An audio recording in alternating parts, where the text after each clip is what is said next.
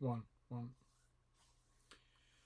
Okay, I don't know if there's anybody there. If you are, let yourselves be known. Okay, I don't know if there's anybody there. If you are, let yourselves be known. one.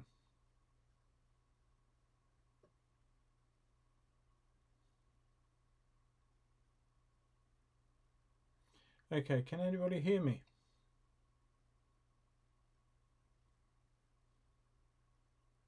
Good, that's great. Piccadilly John, good evening. Nice of you to join me. yeah, good on you. Nice. Bexhill West. It's on my train, guys, coming over. Good on you guys. Thanks for the support. And Wendy, of course, always there to support me. Loud and clear, that's great. Really enjoyed the waterfall. John, I'm so pleased because it's something very, very new and I wasn't sure exactly how that was going to go down. Um, but um, yeah, so far it seems to be very, very well received. So I'm over the moon for that. Okay, so we're almost on time. Wait another couple of minutes if everybody's all right with that just to see if anybody else wants to come in and have a listen and have a watch and hopefully it'll all go to plan. I've had a couple of hitches in the past where this part of it freezes and I have to go back in the system and start it all over again but uh, hopefully we will not have that problem. So good evening everybody. Um, right. just making sure nothing's going to go wrong. I'm sure that something will. I'm not uh, that optimistic. Yeah, uh, absolutely. Probably no, but I'm gonna, John. That's a very good point, and somebody else raised it the other day, not on uh, on my YouTube, but yeah, uh, um, all these dioramas that I will be building are going to be standalones, one-offs, ideas and thoughts, but they are all sort of driving towards aspects of Sandling Junction. And um, I, um, yeah, Wendy, I know.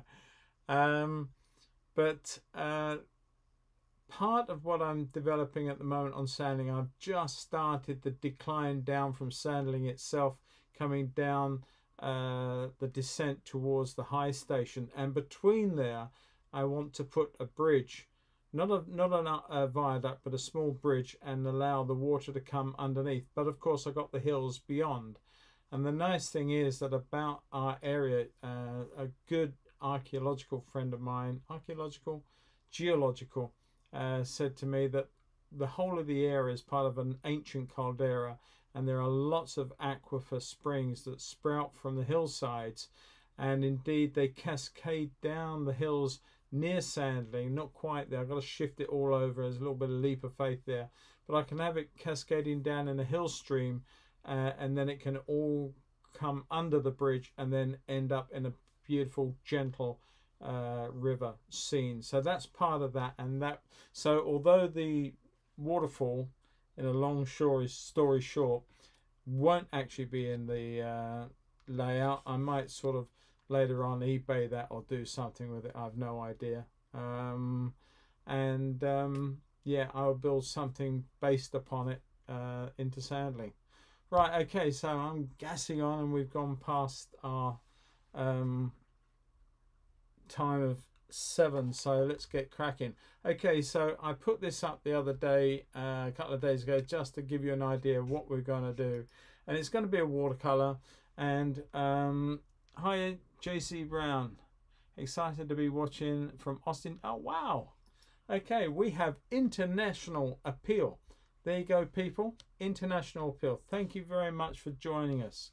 Um, pause creative bridget. Hello i'm here too. Great. Hi guys Thanks for joining me. I gotta keep saying hi and I'm not gonna get any work done. Right, okay. Now then the picture you're looking at is the full slide that I took or the full image that I took. And the thing is I can't actually point to bits of it. Um, but you can see to all along the bottom edge here that there is a lot of sort of bits of boats and stuff that are um, hanging in the side there and they're going to spoil the picture and if you look at the line of uh, the the horizon line it's where we're standing it's our sight line and that runs the top of that walkway through there you can see a couple of people on near to that other yellow boat and so that runs all the way through the center of the picture and I really don't like that that doesn't work Hey, Luxembourg as well. Wow, we are international, truly international. This is exciting. Okay, before I get above myself, let's crack on. I'm going to put a very low horizon. That is central, as I say, and it doesn't sit well. So if you've got a picture that you want to do and the and the horizon line is too central, or the information you want is too in the middle this way, always move it one side or the other and put this as a horizon line lower in thirds. So you've got more above, or you can have it the other way around. It doesn't really make a lot of odds. So, right, let's let's carry on. And I'm just going to suggest the top of this here, and then the bank of the river, which is coming up and along, and it slowly disappear and come down. That needs to be a little higher. We can play around with that. It's not too too. It's not a problem. But uh, before I get too involved with this, let's just put the boat in. I'm trying to look at the little picture when I got a great big version sitting right next to me. So I don't know quite why I was doing that, but there you go. So the, the dominant picture, uh, the dominance in the picture is this lovely little boat. And it comes up sort of halfway on, her, on the horizon or the bank. So let's just put that in. And just a nice arch top and then the bow will come scooping a little bit that way and so then the bow will come round to join it we've got the water something of that nature and then we can come all the way down and look towards the back or the stern. And then there is this nice canopy. That line I put there is actually quite useful because that will form the canopy. It does come down a little bit and there is a top and a front and something of that nature and let's just set that up. We don't go too mad. Don't need to put too much in. Just enough so that we can see what we're doing. And then a center pole and the rear pole of this thing there. Always handy to have your eraser ready to go. And let's just shorten off this boat to somewhere like that. And it's all the it's all front this boat. It's coming straight on at us so we've got a huge foreshortening to work towards and I think that works. And we can always adjust a bit, but I think that works quite well. Any questions, people, just put them in. Okay, it's not a problem. I'm happy to talk as I go and answer such things. Now the area here, the water is quite a way up on there. So let's take and change where I was going to put this in. So let's put that through there, somewhere like that. And then we've got a nice sort of light coming down this bank. And the bank goes up and above that canopy and it's always looking at different points of your picture to give yourself uh, various points of reference before you move on. You don't need to go crashing on and making mistakes. Just go in look at the points of reference and go for it. Now this boat if you look at the second boat it is ever so slightly higher than this one. So if we put this one about here and let's go in somewhere like that slightly higher on the river. So we got our line of water about right, really. And then we can put the front there. And let's look at the stern shape and the transom and the little bit of the rudder or tiller or whatever it's called. It's got a nice piece of woodwork on the back here which we can not worry about too much now. We can suggest it and then we can come down and around and up and then it will scoot round like so but you can't see too much of that because of this big tarpaulin that's holding down the um, boom. And then this of course goes all the way up here almost out of the picture. It's amazing how the foreshortening of this boat but this of course remains uh, as it should do. So let's just suggest that into there. And then you've got the front of the boat like so. It's got a nice piece of ironwork and uh, safety fencing or, or whatever they call that I'm not too sure what they do call that now So don't make your boat banana. Make sure that the line of the keel is about right as it comes down through. So you don't want the top over there because it will look as though the boat's going around. You don't want it over here because it looks like it's going that way and looks a bit crazy. So get it about right. Just check your drawing before you proceed. Always worth doing all of those things. It's got a boom so or spit, so we'll put that on. And then there's a little bit of white material on the top here. And the boat pretty much is drawing itself. I'm not sure whether I want to do anything with this one yet. I'm just looking at it in relation to this one. There's always something you see and you want to change and already I'm doing so. You can't get away with that too much. You can do a certain amount of erasing on this paper but you do too much and you will destroy the um, surface and the lovely um, sizing that is put upon all these papers. It's the sizing that makes this paper accept the watercolor paint. Without the sizing, it's just a molded paper and it will not take the paint in the way that you feel that it should do. So I'm going to bring that through there and then there is a dark passage in along that sheet and a little bit showing on the other side. So I think we got that a little better now. This angle should be coming up here a little bit higher, I think. Something of that nature. So it's little adjustments, tiny little adjustments. There's a little dot there. Let's just put something suggesting that there, maybe a little post or something that may or may not be there, but we can put something there. It doesn't matter. It's our painting. We can do with it as we wish.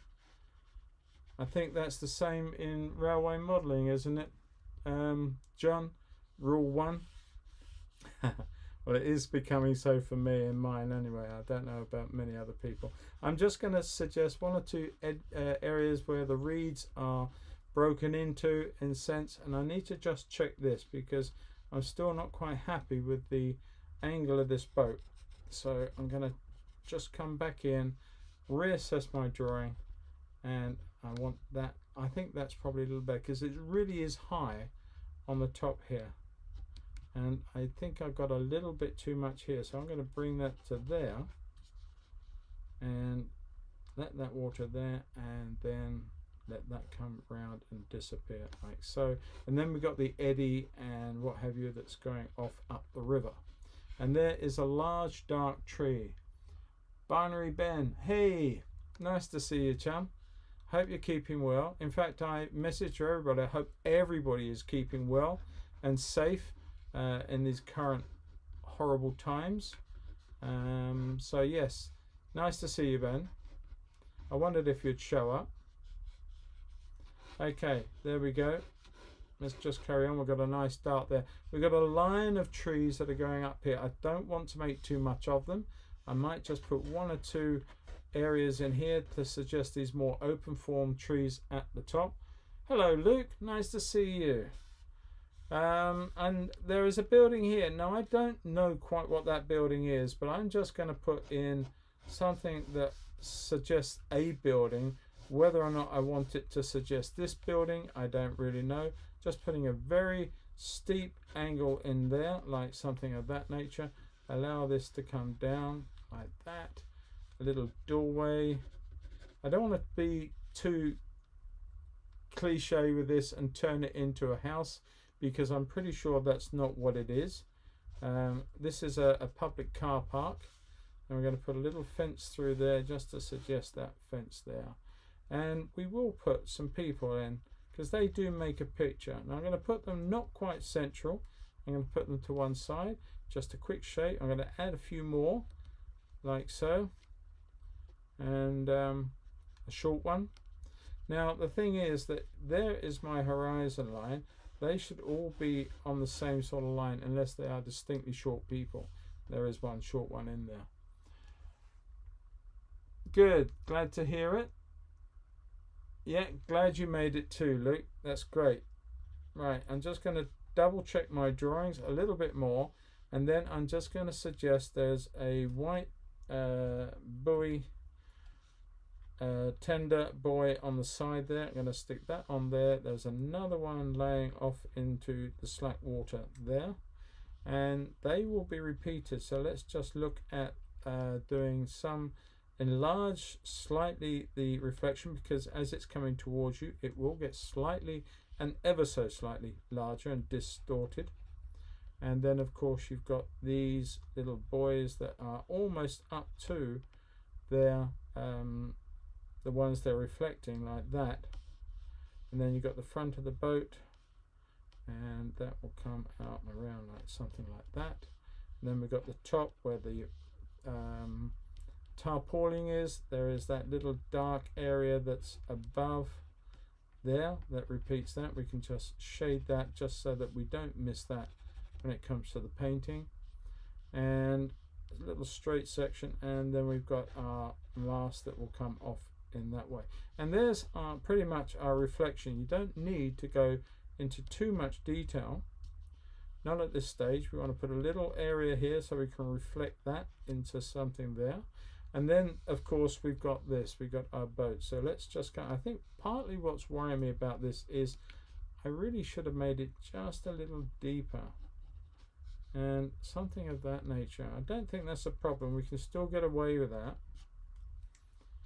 And uh, yeah, we, we can get away with that, I think. And let's just bring out our thing. Because if we can make this come down a little bit, it becomes bit uh, a little bit more of our focal point by just extending what we're seeing in terms of the reflection let's just do it in this fashion see if we can get away with it I think that will work quite nicely and then we've got the nice bow wave that we can run through here we may lose that in the initial uh, coloring but of course we can go back in there with some gouache at a later point at the end of the painting and just restore what we've lost in terms of that little highlight there but I think that works quite nice I quite like that Okay, and we've got a nice light. Now the thing is that you can see a very nice light passage here somewhere in the water, which is reflecting what we're seeing at the top.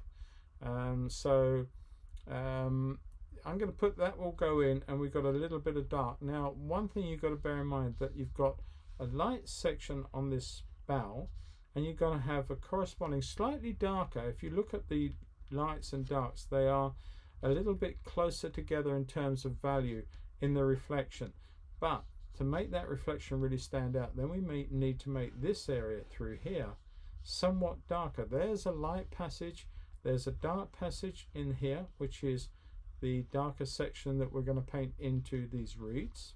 Okay, so we've got dark, dark, dark, darker session, uh, section, and then we've got the top of the bank here, which we're going to run it all the way through like so. There's the top of it reflected into the water. We'll bring it all the way on down to here. And then we're going to have one or two darks in this fashion along this buoy, uh, along this little jetty platform, and then reflected into the water like so, something of that nature. But then the whole of this area here will get quite dark as we come forward. Now I'm not putting in the bows and ever bits and pieces of the other boats. They will just mess things up but we're going to leave a little bit of white water, a little bit of white paper here and there when we start this process. But that nice bit of light there works very, very well. We've got the reflection. Now this tree should be reflected over here. So this tree actually has got to grow. It's going to do a little bit of quick growth. And we're going to put it in over here and make that come like that. In fact, because I've gone a little bit further, we can take that out. We can put in another tree like so there. We just increased our trees. And the reason I did that is because this one is reflected in here like so and we want to incorporate that into our initial picture because it makes sense of all this area here don't know how you are supposed to do reflection well there you go you can have a look at that and hopefully by the end of this painting loop, you'll figure that one out Alright, so now I'm going to start the painting process. We've done the drawing. I'm quite happy with that. There's always something that you can check and do, but if you've been fairly diligent over the course and the process of the painting and the drawing, sorry, then the rest should come into place. Now, what I haven't done is the little supports in the back end of this so that we can have our canopy which will then go down and across to the back here like so and then we've got slight little edge that we can see and something of that nature now we've got that part and of course we've got to have some guy in there steering this thing. So there you go. I don't know if there's any passengers in there but we're just certainly going to put a driver in there a skipper. Um, now we're ready to go. So for the first things the sky in the picture that you're looking at is really quite bland and that doesn't really work. So what I'm going to do is first mix up a little bit of cerulean blue that's a bit contaminated I gotta say I'm a little bit naughty when it comes to some of my colours. Look at that coloration there. It should be a lovely blue and I've got everything but blue. So there we go that's where it should be. A little bit of that so it's a nice summer's day so let's make it a really lovely summer's day and make enough so make enough pigment so that you can do your wash coming down. But before you start the wash you've got your pigment. Now come in with whatever greens you're going to use. So we're going to use a little bit of lemon or aureolin in my case with a tap of that lovely uh, cerulean blue and a little touch of cobalt blue. And then we've got one of our greens. Now this is only the first pass. This color is not the end painting. Is merely part of the wash. And the reason I'm painting getting all these colors ready is so that we can then keep the whole process going and continue adding to these colors and let the wash come down. Trying to preserve some of the light areas but some of the highlight areas I'm not overly worried about. So let's start off with our sky and it's a lovely summer's day. And if we want to put some clouds in we can but because I feel that there is enough going on with everything else let's just make the sky a very simple affair. Let's just take it across maybe tap a little bit of um, cobalt into that color and let that come all the way down through these trees. Keep the bead going. Now the point is about watercolor. A lot of people make this mistake is they start looking they don't mix up enough paint and they start looking at what they're doing. And I'm just going to see if there's any other because I've keep this keeps going wrong for me. No we're still there. Okay so um, yes so they this is the important part. We can add colors in all the time that this is damp but this bead is extremely important. If you let that dry up it's a done deal. You've finished. Okay so don't let that dry up. Allow your colors to come in and spread down. It doesn't matter. There's our lovely top of our trees catching some light. Bring that through bring that in like so and we got the top of our trees. Now as I said to you this is merely the first coat the first layer on the process. Uh, we will just come around. We don't we could go through there we don't really need to. It's a bit of a waste of time a bit of waste of paint if honestly. We're going to bring that all the way down through and into the top of our bank and all the way through to the bank. So we're going to try and paint around some of this and some of these areas. Anything that's darker, don't worry about it. Just go straight through it. All right, it's not a big deal. Just bring it all the way through like so and then try and protect anything that you don't really want to have another um, a lighter color on or else it can wreck it but don't let this bead dry out if you need to mix more color mix more color be a little bit smart about it keep going keep adding bring that on down. If you let it dry up and one day I will do a demonstration where you just have that. All is good with the stream. Yes it is. I'm really pleased with the way it turned out John to be quite honest with you I'm glad you enjoyed it and it seems to be going down very very well um, so far. There's um, lots of lovely comments are coming on the, on the channel and that really does make me feel good because you know it's a lot of work. Well you know these things always take a lot of work. You do with your own channel. Um, there's a lot of work to involved. And so you've got to sort of um, weigh all that up with you know what you're doing and the final outcome and what you expect it to do for you. So there we go. There's that. There's that let's take uh, this line all the way through the back here and take that all the way off into as it's going up the river Stour and into there around there and down there's our edge of our bank. And we're going to come into this section protect the reflection if you can and bring that all the way down and into the boat. So like that. And we're going to change colors now. We're going to put a little bit more grunge. So I'm going to put in our blue but I'm going to come in with some of my uh, favorite color which is umbers.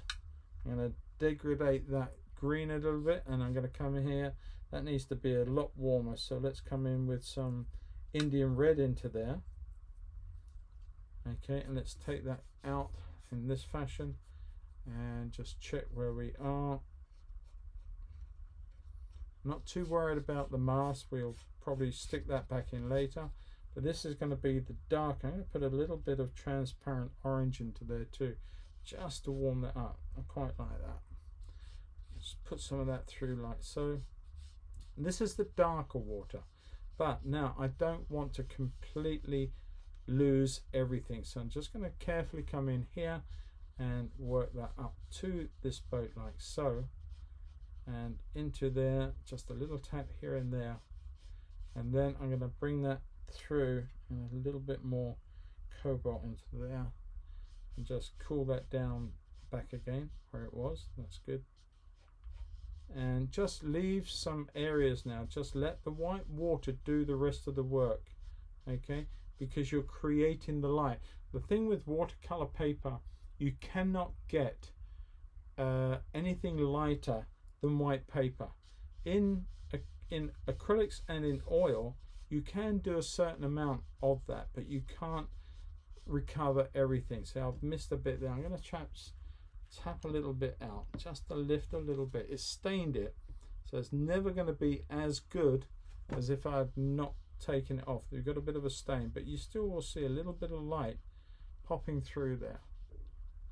So it's not completely lost but it could have been better had I left it. I'm going to bring that dark in up under the behind the boat here along through the back there. And I'm going to let that skate because I don't want I want it fairly dry brush. I'll take a lot of water out of the brush allow the pigment to skate over the surface of this paper and that allows me to suggest that there is water breaking out through the back. Could have done with a bit less of that painted. We might have to go back in with just a touch of gouache at the end of this. But then we're going to come back down with some more greens and more lovely umbers and just mess this up because we've got this lovely lovely green color of this tree. And I'm going to put a little bit more aureolin into that just through there and let that come down. And that really just excites that piece of water through here. Using a fairly dry brush just to soften up and mess the edge up just a little bit like so. And that will come down the side of the boat a little bit there. Now we can actually reinforce this light later on and I'll show you how we do that. I'm just going to come back in very very quickly just to finish this wash off. Just a few directional strokes through here with the brush fairly dry still that allows the suggestion that the water is a little bit more broken a bit more ripple a bit more movement in it as that comes off to one side and I think essentially we're pretty much there with that. Right, let's have a look at the comments. yes, Luke. It is a great layout. I hear, John, that you're really cracking on with your double O gauge as well. I need to catch up with that and see where you've got. I'm really impressed with what you did with the N. Um, sorry, people who are non-railway related. ah, you're going to get a little bit of that. Um, Okay, so I'm going to let this dry up. Just take off any excess that's on your tape. The trouble is if you leave it, it weakens the tape and paper paint can get an underneath. So just blot that away. Now, if you've got a mute button, now's the time to use it because I've got to turn this on and somebody moaned at me yesterday or last time. So just be warned, this is going to be on for a few minutes or a couple of minutes while it's going. So be protected. he said.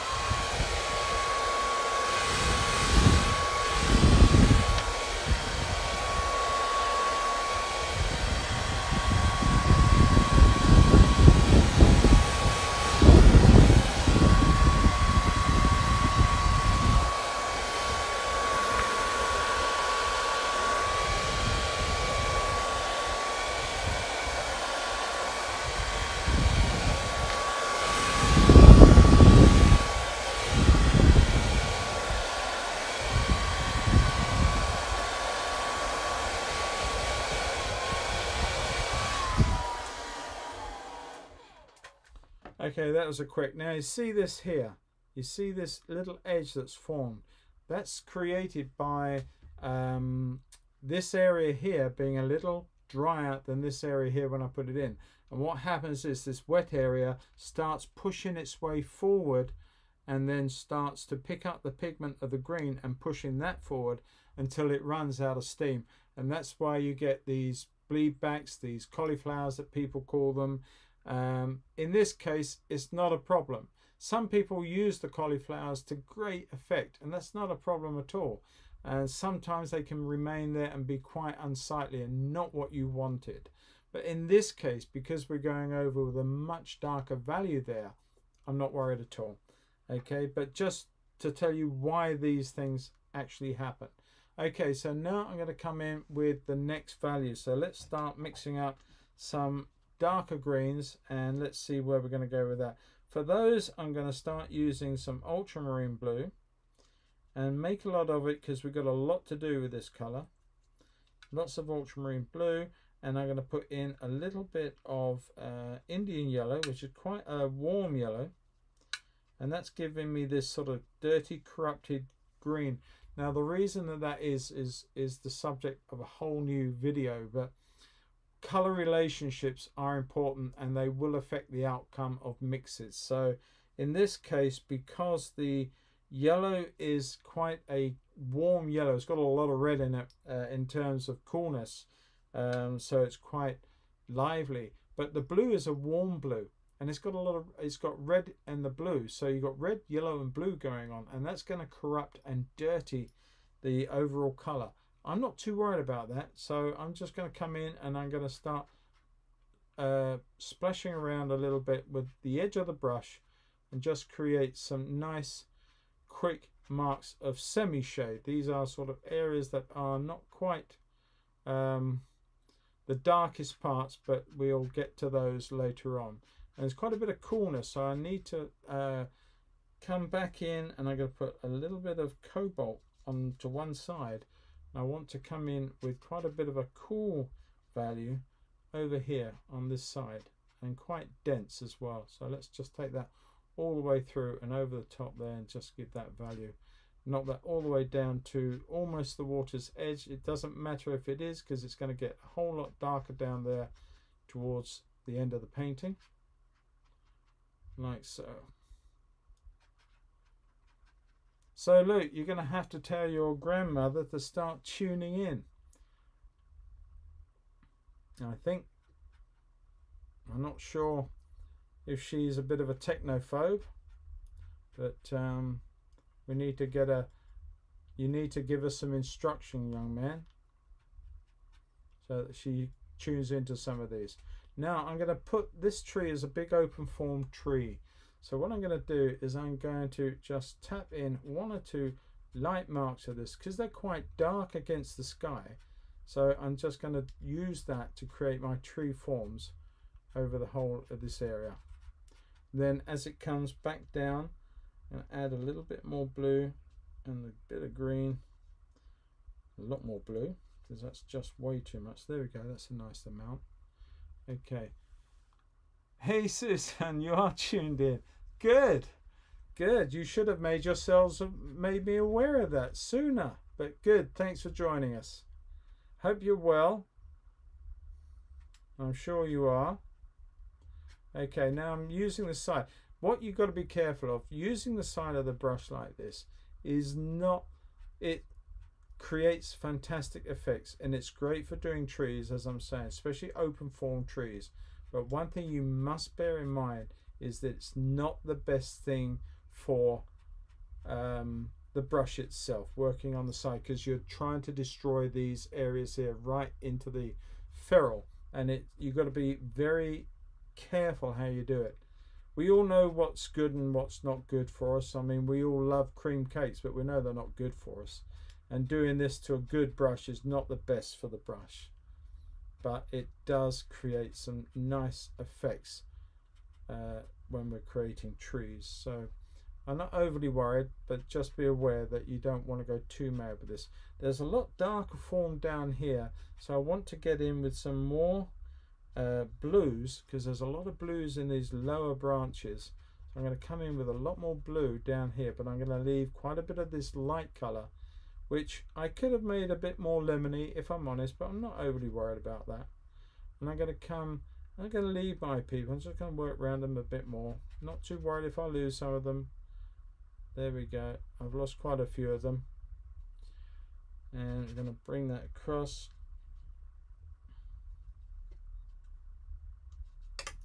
Lots lots of pigment being used up now these are going to get a little cooler as they go further away and down behind this other tree. And what we've got to start doing here is we've got to look and investigate what we're going to do about the negative space. So we're painting the darkness of the tree that's way behind this one. So we've got to look carefully at painting negative space around this. And we do not want to destroy that little bit of light that runs through there either. So there we go, we can tap a little bit into there, create some shapes and forms and bring that all the way over the top there and then down to the edge of the car park and where these people are. So let's come back in. I before I forget, and I am always bad at this, I tend to forget to tell you what I'm painting on. This is a high quality, uh, 300 pound, 640 GSM um, watercolor paper from Saunders, Waterford. It's a high, it is good quality, and the reason I use it is not because I just want to say, oh, I use a good quality paper. Not at all. There's no point uh, of using a high, uh, an expensive piece of paper when it does no different, or if it does no different to a cheap one. So the reason I use this is because it does have a much greater degree of um, pickup of water and holds that water working time is increased. So, you know, if you wonder why you should use a good quality paper, that is the main reason why um, and that is to give yourself a lot more working time um, like I'm doing now. The dampness in here, I can still pick this up and still work with it. But I think we're pretty much there with this section of the painting. Maybe a bit more blue coming down in here on the lower parts of this one. Just tapping away and leaving a few nice cool marks coming down there, which works. And maybe just a little bit cooler still a little bit bluer in areas over the back here.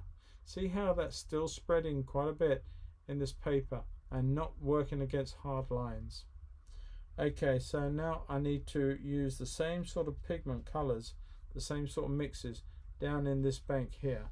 And just to suggest that there are one or two areas in these reeds, high and low coming down, we need to get this dark right up behind this boat so that the light areas of the tarpaulin will then show up to the viewer and it just brings the whole boat out and across through here so that we can then put in uh, the white of the um, iron and the ironwork, the railings, bring that all the way through here. Nice little eddies of colour into the edges of the uh, reeds. Dark around this part and portion of this boat and then quite a bit of dark up through here but it is quite cool. It is quite blue. So let's take that all the way up through there up and over there. And just I think that's probably enough really for the moment. It's looking a little bit all over the place but we'll get there love the tree effect with the side of the brush yeah it's just not the best for the brush I've got to say Uh, if you've got a cheaper nylon brush to do that with, I would suggest that's the time to pick it up. Um, right, okay. I bet, Luke, you're you're chomping at the bit to get out and see a few trains, aren't you, chum? It's just a shame you're you're locked down the same as the rest of us. I'm missing some of these train videos you keep putting out there. Right. Um, I'm going to stop talking about trains, people. I do apologise. Not my fault that some of my train friends from the other channel are tuning in. I thank them that they are. I'm just going to come in quickly and put in the edge of this building just very fast just to give it a base color. Now that the other color is dry, we can just put that in and leave that to set up. Maybe just come in with one or two other values just to mix it up a little bit on the side. And then just maybe just stick a little bit of cool light down through the top of the roof there like that and leave it for the moment. It will dry up. It will do its own thing. Um, my mother was painting until she was 93 painting is for anyone at any age very therapeutic. Yeah absolutely. My oldest student Joan was 92 she's actually 99 now and still going and she still colours in books albeit not in the sense of painting that she used to do. Um, and the only reason she stopped coming to me is that she had to get closer and closer and closer to hear what I was saying. And when it got to the point where I almost sitting her on my knee we called it a day. Um, but yeah um, so she's a lovely lady and she's still with us and I actually see her son sometimes when I'm walking the dogs in the morning over the beach. So lovely lady. Um, she's cared for in these in one of these nice homes, and uh, although she's got very severe Alzheimer's, I think, or Parkinson's, one of these ones, dementia anyway. Um, I think I've got the right term then. Um, she doesn't really know what's going on anymore, but she's just a wonderful person. Anyway, I digress. I'm going to let this dry up now and we'll start looking at going in with the next value. I'm going to put a very cool aqua color. I'm going to use some cobalt teal. It's a favorite color that's becoming fast a favorite of mine. And I'm just going to literally come in here with this um. And I'm not going to go over the whole of it. You can see that there are areas of the chart that are catching the light. So I want to preserve the white paper uh, to show that and leave it just as it is there. Up over the top of the boom and let that come and drape down this side and leave it just as it is. And I'm going to save the boat for a minute uh, because this is probably no it's not dry enough yet. So let's go back in on the uh, color of the boat itself for that I'm to it's quite an orange color so I'm going to use some vermilion but I'm going to use some Indian red uh, Indian yellow, sorry, Indian red, and a little bit of aureolin too, and just test it to one side. I think that's quite nice. So let's just come back in and put that colour in for starters, and along the side of the boat too, down there and up there. And then we're going to put in a little cooler colour. I'm going to put a little bit of blue to that now and just suggest that it's going in for the reflection and also into this part too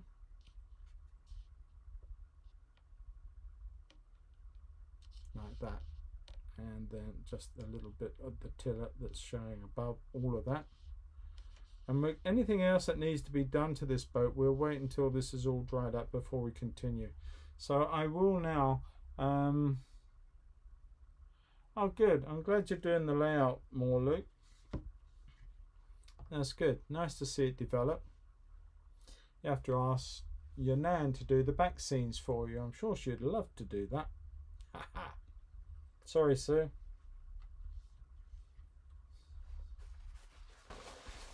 Right.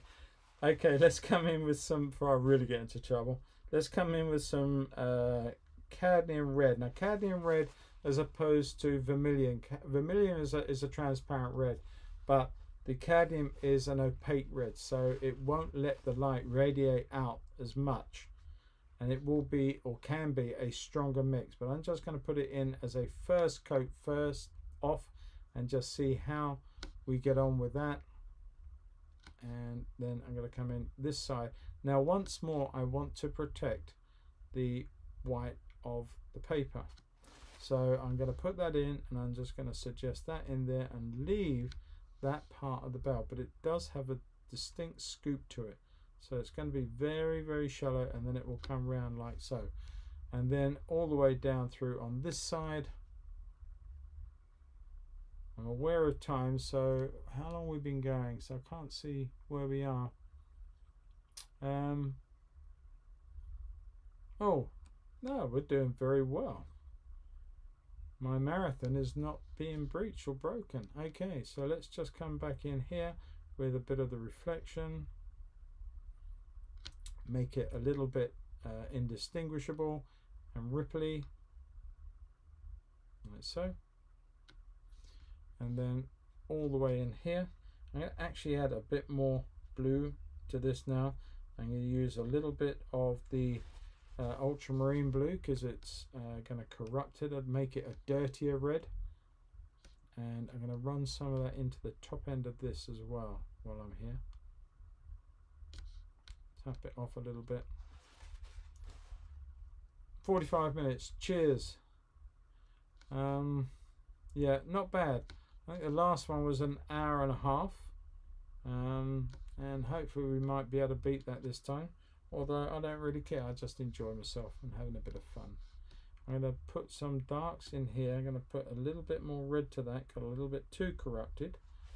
And as I said cadmium red's very very strong color so you know it will isolate itself and set itself up in control and will take out the light and the end of the day, watercolor is about allowing, allowing the white to radiate through the paper. And too many opaques can destroy that. Not saying you shouldn't use them. They're there to be used. But just watch how you use them and how um, strong you're using them. So I'm going to put a little bit of pure red into there and let that, I want to put that buoy in. So I'm going to put that down through there and the side. being a little bit careful. Okay. Come back in with that red and let's just look at this side here. And it's all in quite a bit of shade, so we're going to bring that down, tap it, negative space, leave the white water if you can, which is what we've managed to do, all the better for it. But then I want to lift out some of this at the back here because there's quite a bit of reflective light on the side of the boat. So I'm going to lift some of this pigment back and let that come out and along and down the side like so. We can utilize that when we come to put those fenders in, they will show up dark against it. That works very, very well. Okay. Oh, good. Okay, Luke. Well, I expect to see a few of those coming out. Right, now then, the reflection I'm going to put in of the water. Now the water is white, or pretty much white, but there is a reflective side of the water here that's in shade and shadow. So I'm just going to put that in there. Now that's too strong as it sits, so I'm going to run that out, tap it out with some dampness in the brush, let that come through, I'm not picking up enough, let's just add to that and they're on the all the way down the shadow side of the boat and it will start to exit out through there. And now we've got that side done and that's probably set up. Um, right where are we? I'm gonna have a little slurp people sorry. I got and it's not gin before you ask Wendy. I'd use a much bigger glass if it was gin Ah. Never thought constantly talking was going to be so dry, but it's amazing how it is.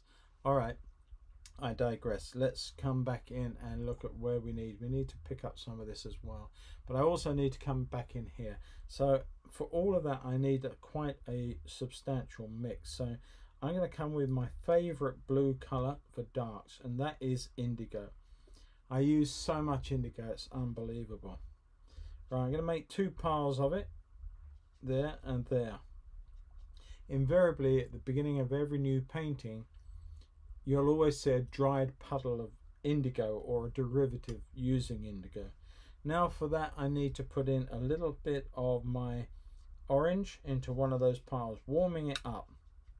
Now that's probably not warm enough because I'm going to put in some Indian yellow to that now and take that to a very grungy green. And I say grungy green because exactly what it is, grungy green. But there's that nice little reflection of that into there. I gotta say, I would love to say it was deliberate, but I would be lying. That was just a little bit luck that that very similar value and it works. I could maybe tap on that and make it a bit warmer, but I don't think we really need to. So I'm just going to come in and I'm going to come back into some of these dark areas of the trees. Now I'm going to go over some of the areas I've already done, but I'm not going to go over all the areas that I've done. So you're actually creating more darks but less areas. So you're, it's more about suggesting. Okay. Coming on down through and all the way down to my base, which is predominantly going to be darks, but I'm using quite a bit more blue indigo in the bottom there, like so. Don't worry that if you do go over something that you formerly left, it's not a problem. And let's just come back up here. Quite a bit of dark up through here.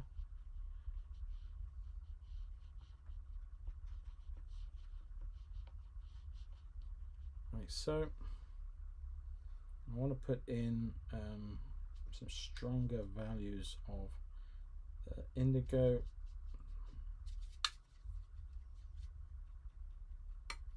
that's quite strong but uh, I want to put in some blues. And a little bit of cobalt turquoise wants to creep in there as well. And make a separate puddle that you can't actually see I'm afraid which is going to be cobalt predominantly but it's going to be corrupted. It's going to be corrupted by all these other colors because I want to come in on the side of the brush and put one or two cooler areas. I'm going to take quite a bit of paint off of there first.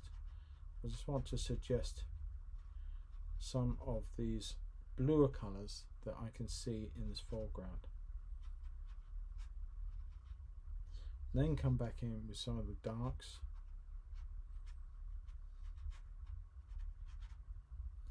Maybe a little bit of a warmer value here and there. So uh, cobalt and some uh, lemon yellow and a little touch of aureolin in there just to vary up the greens as they go further away.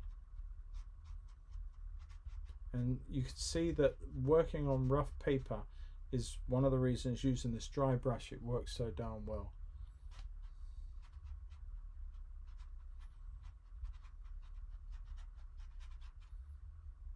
But it is the destroyer of brushes, you have been warned. Alright, I'm just coming in with some real darks because I want this to be quite heavy around these people and I'm just going to try in and suggest that they are still there and enjoying the scene and just pop some of these colors and this is where one brush can be continue to be used because it is if you go if you keep your brush in good condition says he using the side of it the way I've been doing but if you do keep it in good condition then you preserve the point on the brush. And that really is important too. So how many are out there if there's anybody who's not come in and said hello Now's the time. Use the chat just to come in and introduce and tell me you're sitting on the side watching. It'd be nice to know that you're there and enjoying it. I'm just going to take some of these darks all the way up through here, like so. So that you get a sense of the light is popping through, but it's not dominating. So we want to have a lot of darks in this area in the foreground.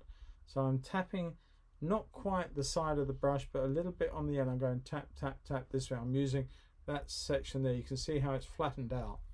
And that's really where I'm using the brush right now. And I'm just coming up through here and giving a bit more weight as this goes off the page over here. Maybe a little heavier coming down into the back end of this roof let that sink away because the paper's still damp so that will do what it, it wants to do through there which is good. No problem with that. And um, we seem to have um, 18 people watching which is cracking. I, I didn't expect so many people would be interested in watching but that's good. That's very pleasing to know um, yes, so anyway, I'm just going to carry on down and get this isolated off. Now here you've got this nice straight line, but it's anything but a straight line. So if we just come in now and tap away in little random marks that you bring some of that dark into the space and it suggests that it all gets broken up. You're not quite sure what is what and what's happening. There are sort of divots and suggested bits of grass going here. You can use a negative space. Now, there's the top of the bank that runs down here. So if I use this dark in a solid mass here, I can tap it into the edge of that tree like that. And I can also tap it this way, suggesting that the grass is all nice and stemmy and long through here as it disappears down and into this other dark under here. But I also want to put in a little neat piece of cobalt right in under this shadow here, just there. And I want that, want that to run all the way in there like so. And that gives me this lovely summertime. A little thing to remember when you're painting summertime, um, well, we got three generations of Alfred all watching the live stream. Ah, oh, cool. Is that dad as well or mum?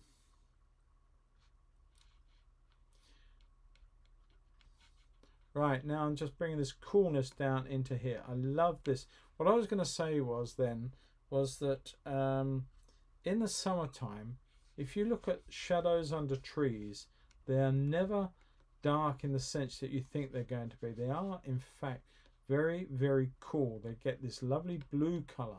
If you look in the height of summer and a lovely summer's hot summer's afternoon, you look at a big sprawling tree and you look at the color of the shadow that it leaves underneath it. You'll be amazed at what you see. And conversely, in the winter time, you think the colour of cold snow would be very, very pink, uh, blue, but it's actually quite pink, very warm, very violety. So, yeah, it's always worth making little notes of these things because they will serve you well when you come to do your painting. Just going to come back to putting a little bit more cool blue on here on the side of this tree. Very, very random. That gives that a nice little bit of dark and then we're going to come back over with some of the other colours. A little bit of lemon yellow into or Aureolin. I always say lemon yellow because as an oil painter I do use cadmium lemon and of course in watercolour it's Aureolin that I use so I forget to tell you what I'm using. So if I ever say lemon yellow and I'm painting a watercolor, just ignore my stupidity and you know that it's actually Aureolin. There we go. I think we've got that looking quite nice. A little bit of dark up into the top suggested. Not too heavy. Right. All right, let's carry on and I want to come into this water. This has pretty much set itself up. I will come over, I think, with some more blue. I quite like, I keep seeing a lot of cobalt into some of this tree. I'm going to just put a little light wash over some of this. And it does set myself up for a big fall because I said just now about the lights and the darks uh, pushing ahead. And that's exactly what's going to happen here. So what I'm doing is I'm preempting that and I'm just taking that wash over the whole of this area again so that it's got nowhere to cause me a problem. I hope, he says. Fingers crossed and uh, suitable um, sacrifices to the gods taken care of. We hope that that will suffice and not cause me a problem. All right, if it does, I'll have to work on that pretty fast. I'm going to come in here with a bit more of that red and a little bit more, um, a bit of Indian red and a bit of cool blue into there too. Just want to come and run that in down the side of this building and give that a little bit of definition down the side. A bit of the brickwork, it's caught the light on the front end, so we're going to leave that and we're going to put a little bit extra dark in around the um, front under the eaves, but for the moment we'll leave that just as it is. That's all it probably will need. And um, hi from Margate, 1200. Sorry, I didn't see that come in. I keep looking at it, but I didn't actually see that. Um, oh, hang on. It does look a little bit funny, doesn't it? Bear with me, everybody. I'm going to give you a bit of a polish up.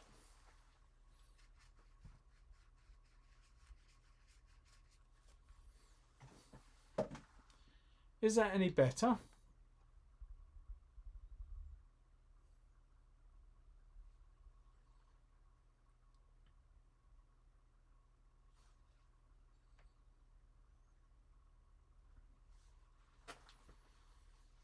Is that better, Ben?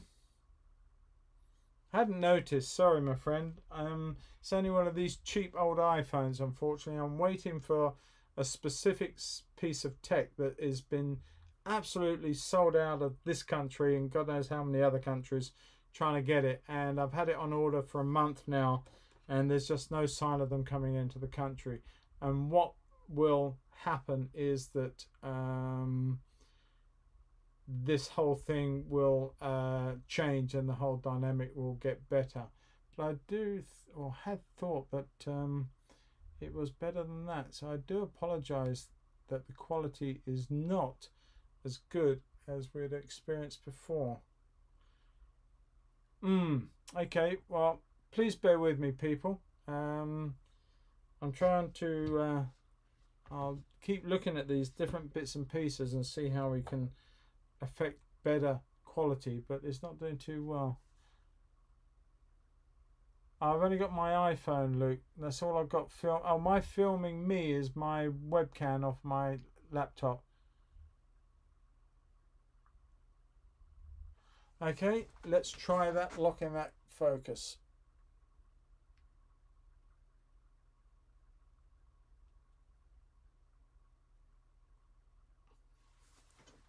That better?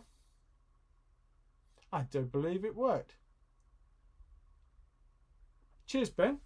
I think I even I can see that's better. All right, you can see what I'm painting now. Shall we start again? I'm joking. Right, let's crack on then. So we've got to start putting some weight in here. So for that, I want to, I may as well use some of this actually, this warm color that I used just now. I'm, I said I wasn't going to do anything with this, but actually I'm going to lie and put some in that sort of suggests the warmth of this building. Just going to suggest that in there, not there. Don't want it in there. Just a little bit here. And then I'm going to come back in with the indigo, favorite color. And, and this time I'm going to use some raw sienna to give me my yellow content in that green gonna make it it's a little bit gungier. Lots of yellow to come in. Maybe a little orange just to assist it. Looking good. Cheers. iphone yeah it did work. Thanks ben. I mean i had no idea that it had gone AWOL like that so much but it, it obviously was. Right now i'm just going to become quite random and putting in some of these darks. We've got to put some in through here and I'm going to suggest some of that now like so and into the edge of the water. But now I'm deliberately using the edge flat edge of the brush as I do it to suggest that there are uh, horizontal movements in the water itself. So any reflection mark that I make I'm doing it little random taps like so just to suggest them if you don't want them as strong as that, then when they're starting to dry, just tap them off with the damp edge of your brush like so. and that will break them out into the uh, area surrounding them without overdoing it. They just become a little softer. But because this was wet and this is wet, look how that is lovely uh, harmony working through there.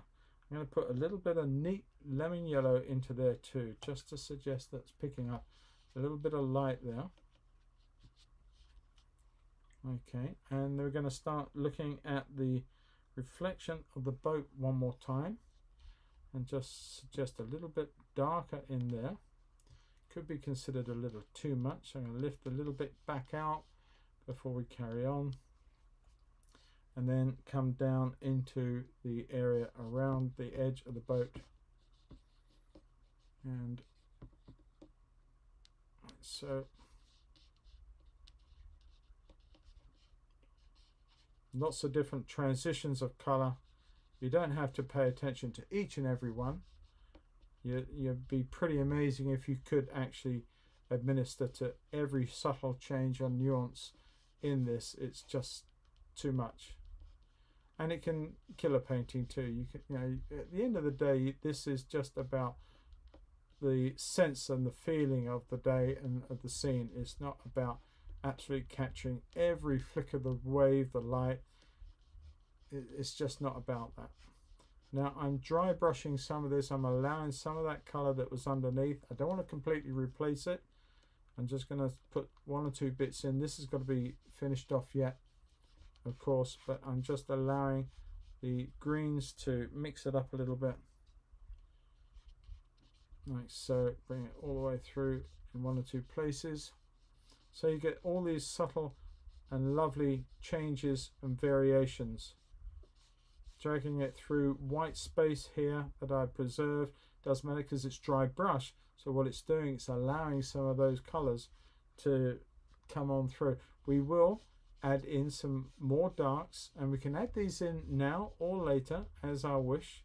Whichever we feel is works for us I'm going to come around the edge of the top of that boat like so and there's just that little dark line there I lift a little bit of that out there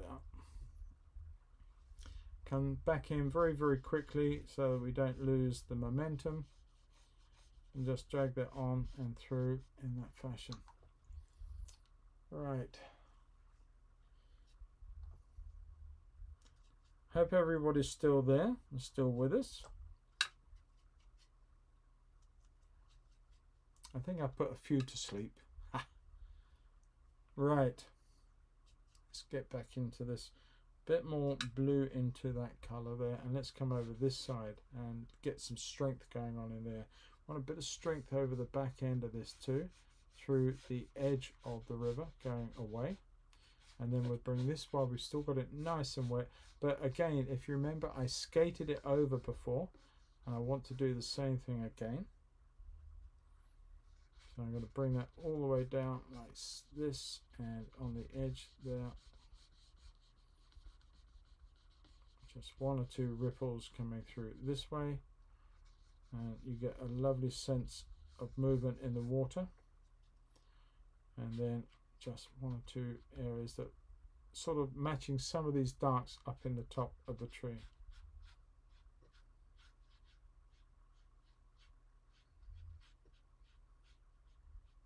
There you go. And soften any area that you want. Just by adding a little bit of dampness to the brush and you can see that that just takes away some of it. So you don't want to get rid of it all but sometimes you just want to mix it up a little bit and make some of it work in that way. So now there's a bit of red into this reflection here. So there's just a little bit of uh, redness from the boat overall. So I'm just going to put that in.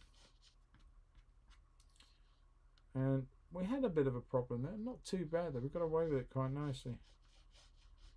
Let's just put one or two areas because that does stretch right the way across as a dark warm colour but it's a corrupted green. So if you've got a nice deep green then add a little bit of vermilion to that and that makes it a lovely uh, hot green.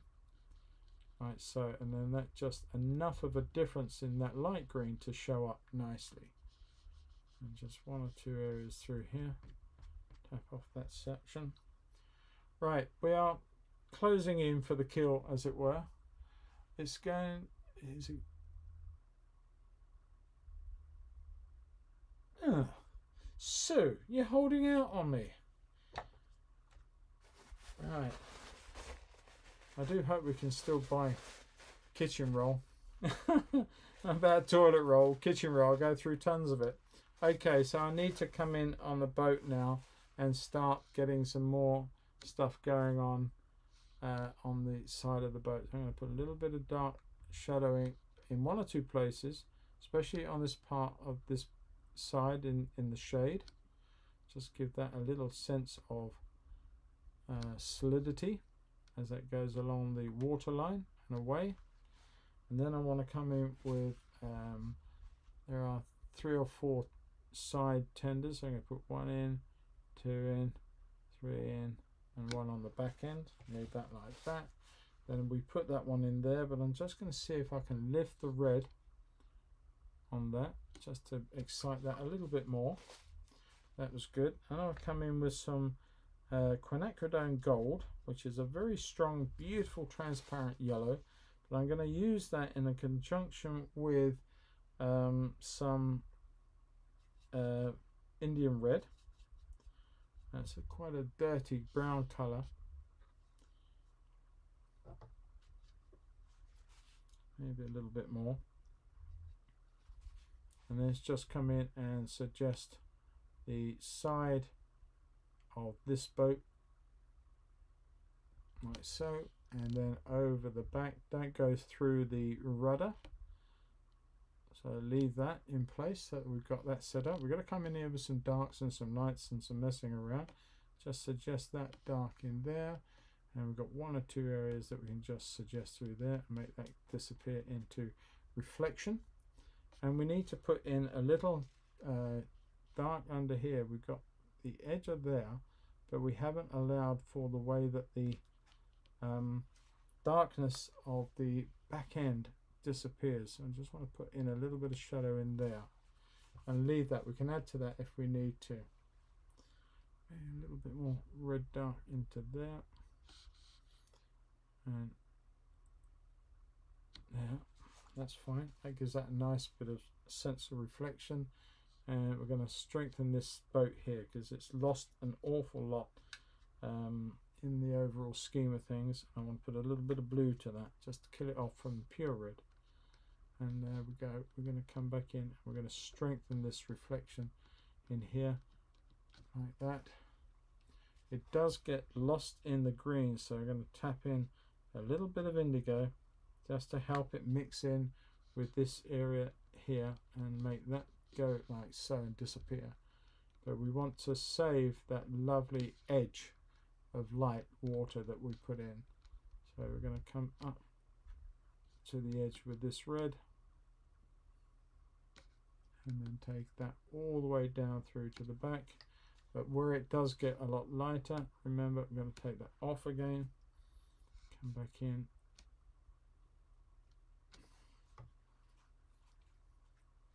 I want to put a bit of lemon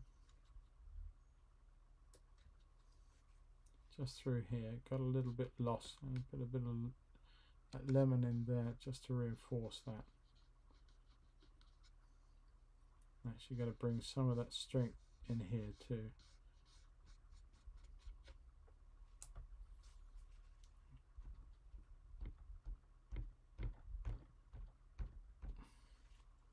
And decided not to because I think it actually should be a little bit cooler than that.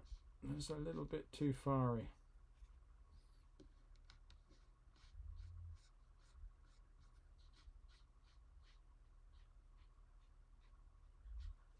Okay, let that dry out, that'll be fine. So now we need to just go back in this bank and give that a little bit more grunt in the bank. So again, we're going back to the indigo blue. We're going to put in some lovely uh, aureolin into that this time. And that makes for a great deep dark green.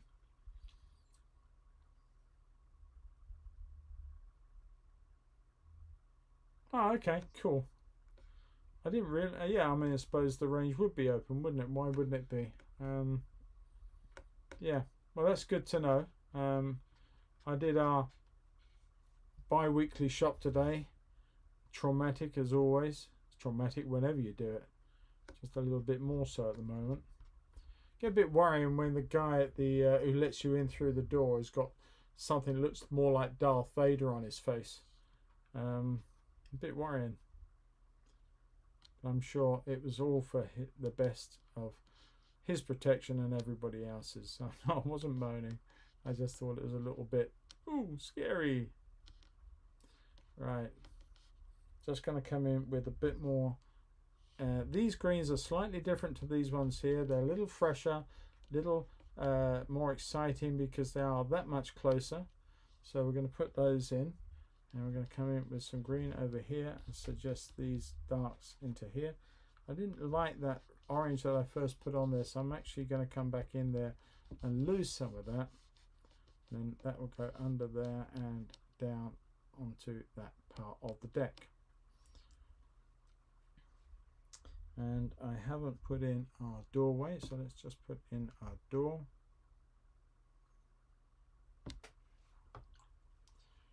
And we still haven't put any people in yet, so I'm going to start looking at those in a minute. Now she's in pink, but I'm not going to do pink. I'm going to do something like a little red, like so, on that one. You don't need too much to make a person. Just enough to suggest it, because you're not trying to create the portrait, you are just simply trying to suggest the forms and the shapes of people.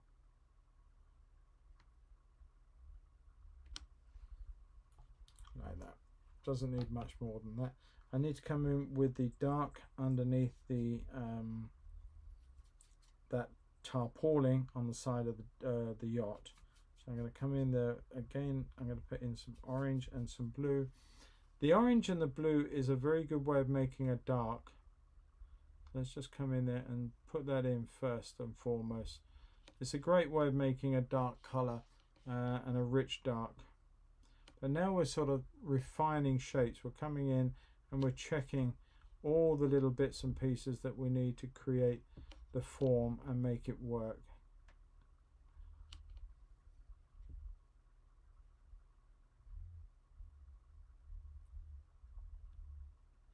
Right, so it starts bringing it to life. It's all these little bits and pieces that we, um, that just, you know, join all the dots up as it were and give us what we're looking for.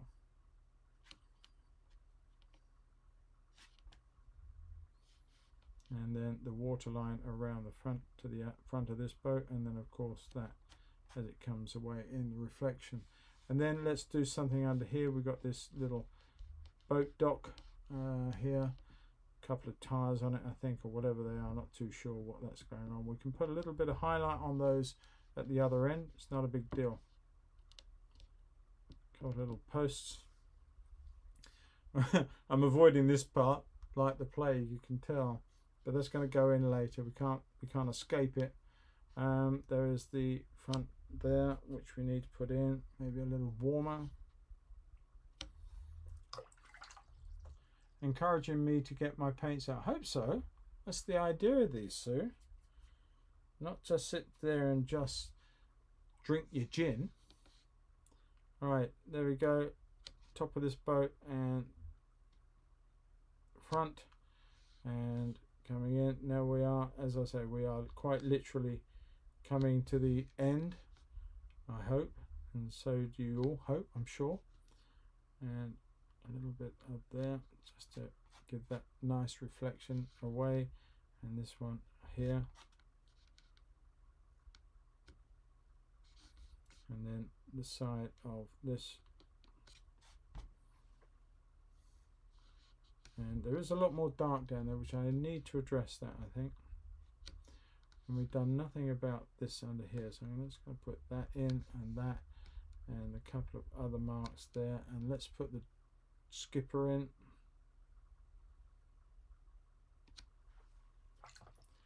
and then we're going to come in with the roof which I'm actually it is quite red, but it's not red.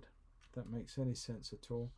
I'm going to put that in first, put that nice strong red colour of the canopy in. but then I want to put a light leave that light through there and take the dampness of the brush onto it and lift some of that all the way down to the edge of your drawing and then let it dry. Then we go in with the little dark shape which is the rear of that and then we put the poles in with a little bit of gouache right at the end. But I do need to come in with the reflections of these um, side fenders. Perhaps a little strong we can tap that away and take a, a little bit of the pressure off. And of course I actually forgotten this one. But I want to come in with some darks as well. I'm going to put that in first like that.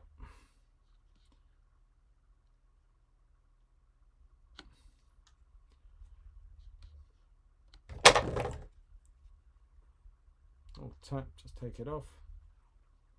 Looking at over the whole thing now and seeing where you still need to do stuff still need to put bits and pieces. I'm going to go for my rigger. And it's about time I change the brush. That one's getting a little bit hot under the collar. It's been constantly used. Bear with me while I just search out for my favorite of all favorite brushes. It's in here somewhere.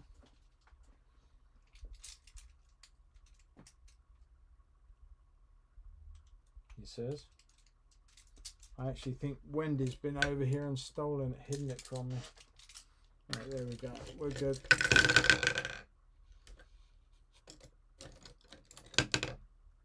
Yes, Nanny, do you remember saying you should do that?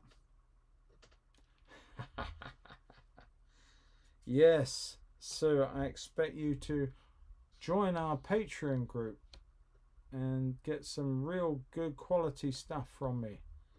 There we go, nice little bit of dark in there, and that's lovely and reflective of the light. A little bit redder. That works. And then just bring that in there and one or two other little areas on the boat just to reinforce them, like so.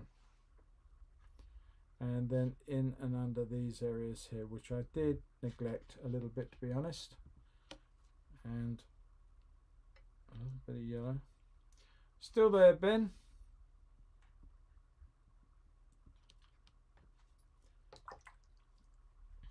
Right. Just looking at some of these shapes in here as well. I'm going to go for it in a minute. I'm going to put that mast in. And I'm going to, you're all going to have a lot of fun seeing that. I'm going to put a couple of bits in. I think I want to put some more darks into these trees. And I keep looking at them. I really feel that I want to give that another go. So I'm going to go for it. I'm going to put in some yellow and some green and I'm going to tap of the red in there too. And checking them again. And let's just come in with some one or two real darks now.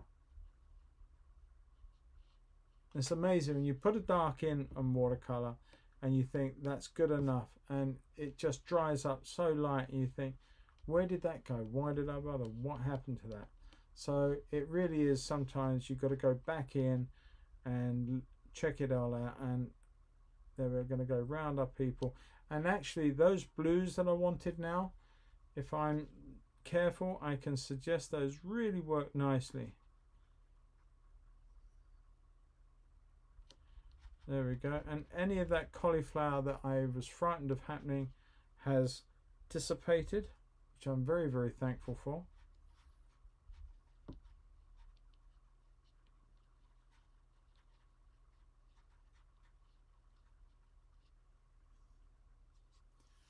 and let's come over to this one and do a very very similar thing. Just not too much of it a little bit less each time remember.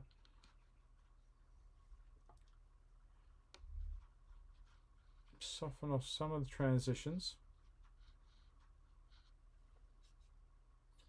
In here more transitions lots of darks right down in the ground lots of heavy darks and that just helps hold all this in nicely. It did need it. I wasn't sure. I kept looking at it while I was talking to you and I just felt that it just needed to do that.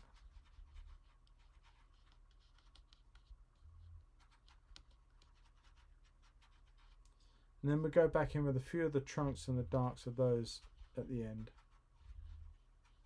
Well, before I do the white, anyway, put it that way.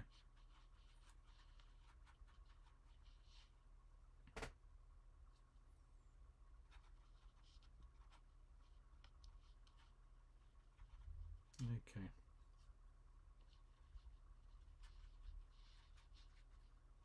The only thing about painting any pictures, you think you're pretty much there with it, and then you just see something else that just begs to be altered and mucked about with. And you have to go back and you can't leave it. And there's a lot of darks just coming in down here, which we've got to now sort out.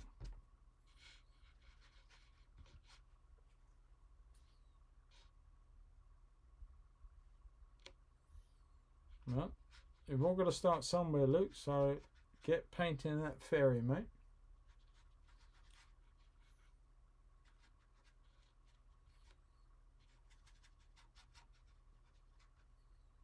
And let's take that dark all the way over to there, but not all the way up to the top on end there, because we had that blue coming in for a purpose, and I want that to remain. And then we can get a lot of real heavy darts going in the side of it. And a couple up in the top there. Okay, that I think should do it in that regard. Let's just look at a bit more green and a bit more blue into some of these areas here. Just give that another little tap across. We'll play around.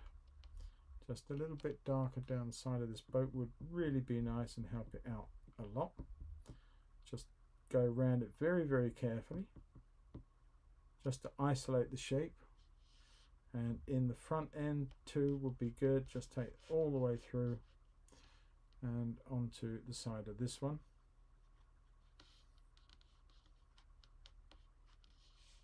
And then some of that like there can come into the water and then we had that dark in here, didn't we? So let's just bring that in because that will create the lovely effect of the white water. So let's take that dark all the way up through and into there like that. Now we can see our white water or the bow wave of this boat a lot easier than we did just now. And just isolate that end there of that. Just a little bit of care was needed then on that one. One or two darker marks through here just suggest some darker parts of this water. A little bit less information each time okay? Just to you know you just I's and T's now.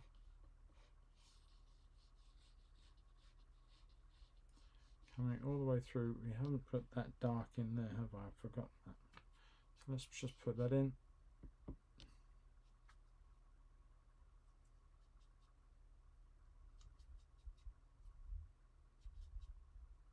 there.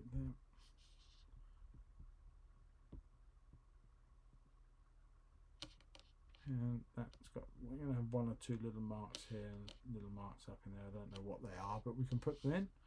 And then we've got the uh, sort of, I'm going to put this in, but in dark, but I'm going to put some highlights in the white gouache later on. So it's just a little bit there, but that what is what I can see in the water up through there like so something of that nature.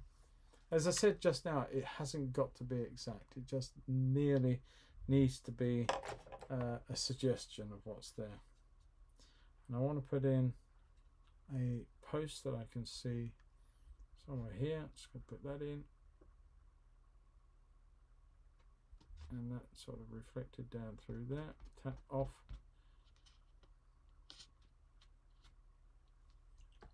All right. Okay, so now we are closing down. uh, I have so many good train photos from Twyford, but not even starting to painting them at the moment. Yeah, I get that idea. Right, I use a rigger and I use out of the tip, out of the end. And I'm going to support my hand while I do this because it's I know it's going to go horribly wrong. So I'm going to start here and just hold a breath and take that all the way up through there.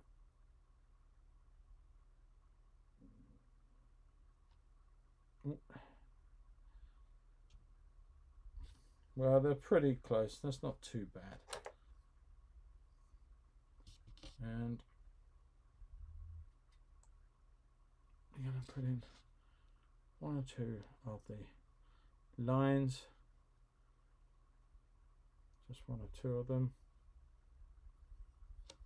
Suggested.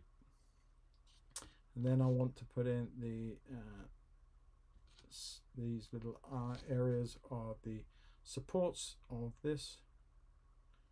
And as I said one on the front. Like so. I'm going to reinforce the water and ripple on this side and on there.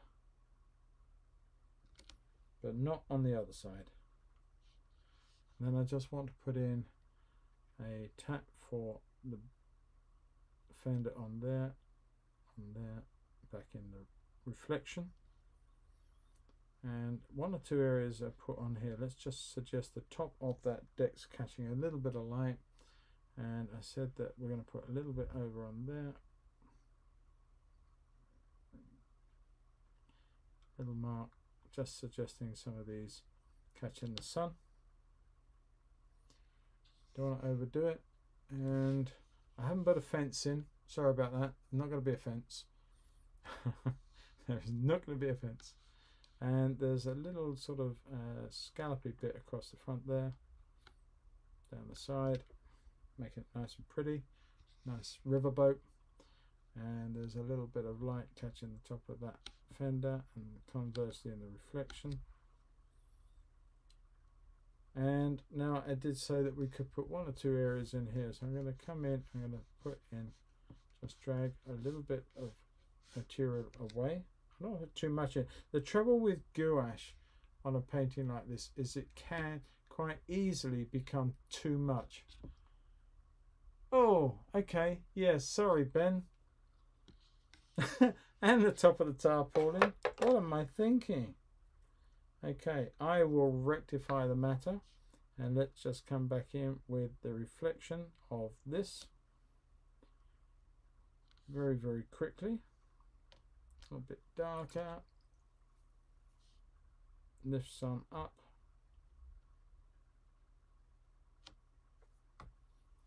That works, I hope.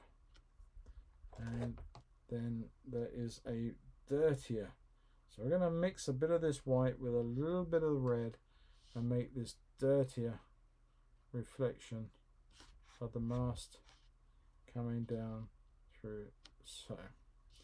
And then we've got a light area that is in here. Okay. Is that alright, sir? Have I atoned? A little bit of light into that.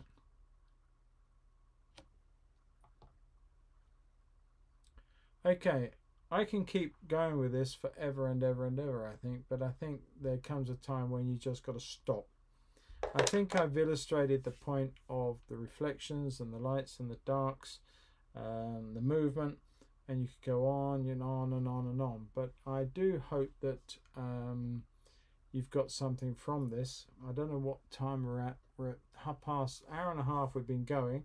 So um, there are still one or two little bits and pieces that I need to do and I sort of as I'm finishing up I will talk about those and they're just literally more eyes and T bits just like here across the door you know there's sort of like the lintel needs doing on there and um, a little bit of a side and a shut there so little bits like that that I haven't actually put in yet I haven't put in the white around here to be honest with you. I've forgotten all about that. And there should be a nice reflection on there and on there, which I've missed, and there. Little bits and pieces that you keep seeing that you got to do. Um, doing a straight line is very hard. If I were to do that, it would be very wobbly. Yeah. Normally mine are too, Luke.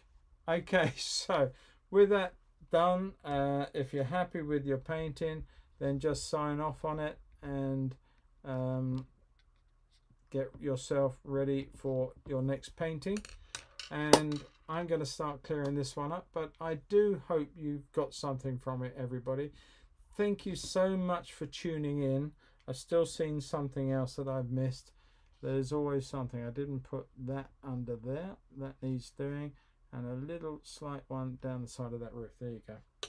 So, with that all done, um, yeah, Jeff, thanks ever so much for tuning in. And the next one, this before you go, what I plan on doing is I'm going to be doing one either every Monday or every Thursday, or if I have the time, I want to do two one on a Monday, one on a Thursday evenings.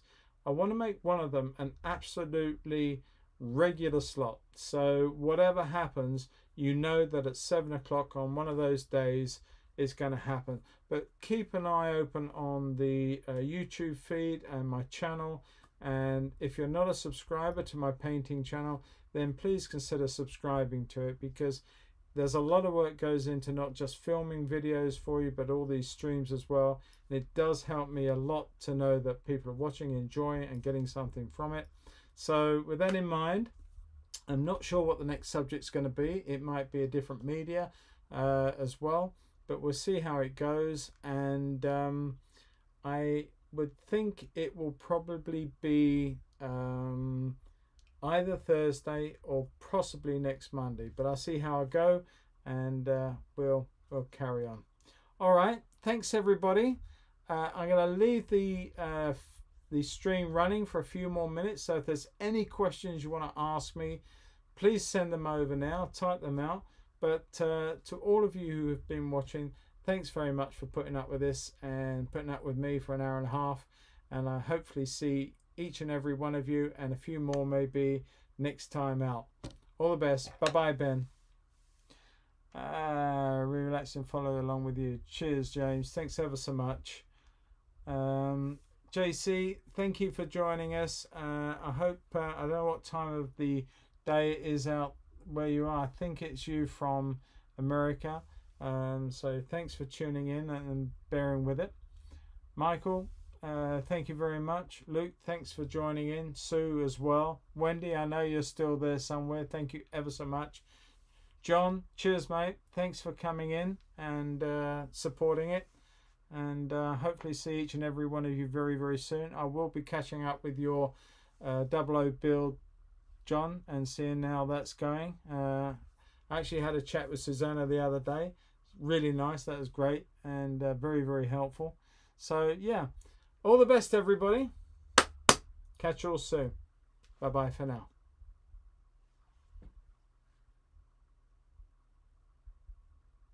Yes, they are, Ben. They are switched on. I think they're switched on.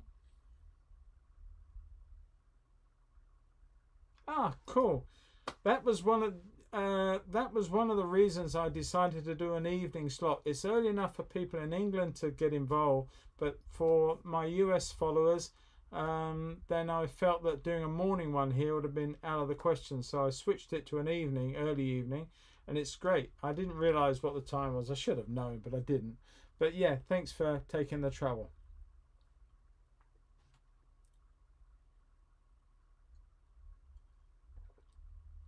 Now I'm going to get the gin.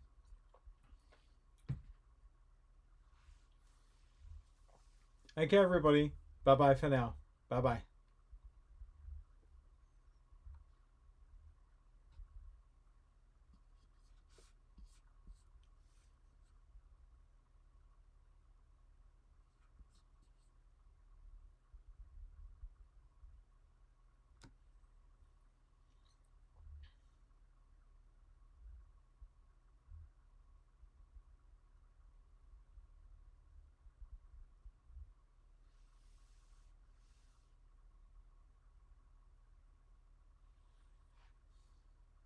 Al Anders, sorry I didn't catch you in the feed before, but thanks for tuning in. Alright, I guess that probably does it. and I'll let every one of you go and have the rest of your evenings to enjoy. Bye bye for now. See you all next time.